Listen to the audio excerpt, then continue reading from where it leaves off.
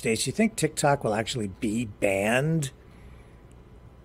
The House passed this legislation today that would ban TikTok in the United States if the China based owner doesn't sell its stake within a year. So, this decision to include TikTok as part of that larger foreign aid package.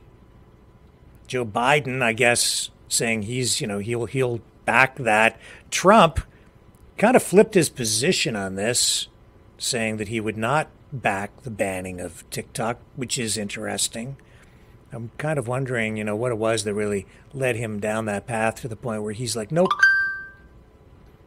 Two different points of view on it now, and Trump flip flopping on it. The modified measure passed 360 to 58 uh, in the vote.